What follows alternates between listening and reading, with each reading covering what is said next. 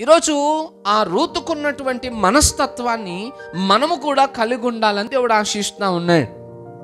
దేవుడు ఇలాంటి మనస్తత్వము ప్రతి వ్యక్తి జీవితంలో ఉండాలని కూడా ఇష్టపడతా ఉన్నాడు. ఎందుకనంటే ప్రతి వ్యక్తి కూడా కష్టపడడానికి ఇష్టపడు వారమై ఉండాలి. సాధారణంగా మనిషికున్న తత్వం ఏంటనంటే తక్కువ కష్టపడాలి లాభము అధికంగా పొందాలి అన్నటువంటి ఆలోచన కలిగిన వారుగా ఉంటారు. ఎక్కడికైనా మీరు వెళ్ళండి. ఏ మనిషినైనా మీరు అడగండి మనము పొందుతున్న జీతానికి అధికంగా పని చేయాలంటే మనకి ఇష్టం ఉండదు.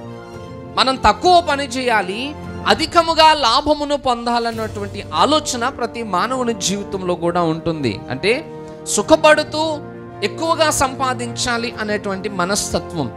కష్టపడడానికి సాధారణంగా ఏ మనిషి కూడా ఇష్టపడడు. అందుకే దేవుడు ముందుగానే రాయించి పెట్టాడేంటనంటే ప్రతి మానవుడు కూడా పని చేసిన తర్వాతనే వెళ్ళి భోజనం చేయాలంట. పనివాడు భోజనమునకు పాత్రుడు అన్న మాట బైబిల్లో రాయబడింది.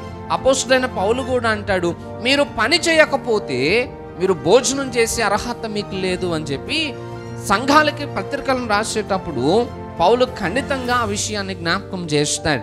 ఎందుకంటే చాలా మందికి ఉండే మనస్తత్వం ఏంటంటే దేవుడు మమ్మల్ని ఆశీర్వదిస్తాడు దేవుడు మమ్మల్ని అభివృద్ధి పరుస్తాడు అని చెప్పి ఏ పని చేయకుండా ఇంట్లోనే కూర్చుని దేవుడు ఆశీర్వదించాలి అన్న ఆలోచన కలిగిన వారు కూడా కొంతమంది ఉంటారట.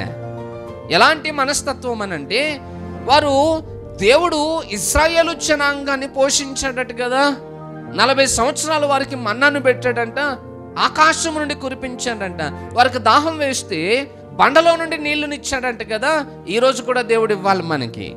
నిజంగా ఆయన ఉన్నాడు అని అనుకుంటే ఆయన గొప్ప దేవుడు అయితే మీరు చెప్పినట్లుగా ఈరోజు నేను ఇంట్లోనే కూర్చుని ఉంటాను నాకు భోజనం పెట్టాలి అనేటువంటి ఆశను కూడా వ్యక్తపరిచేవారు ఉంటారట.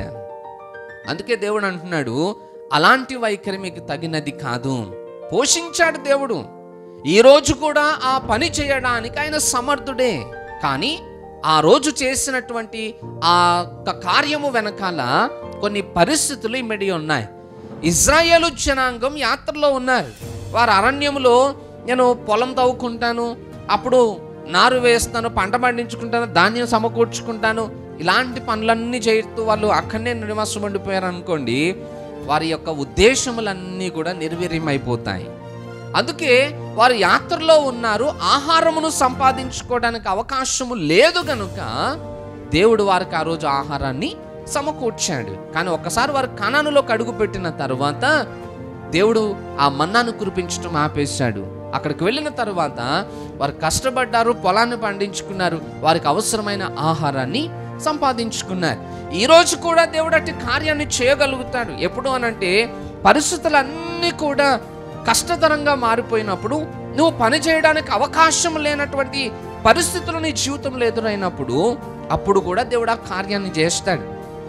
ఎప్పుడో ఇజ్రాయేల్ జనాంగంలో చేశాడు అన్నట్టు కాదు.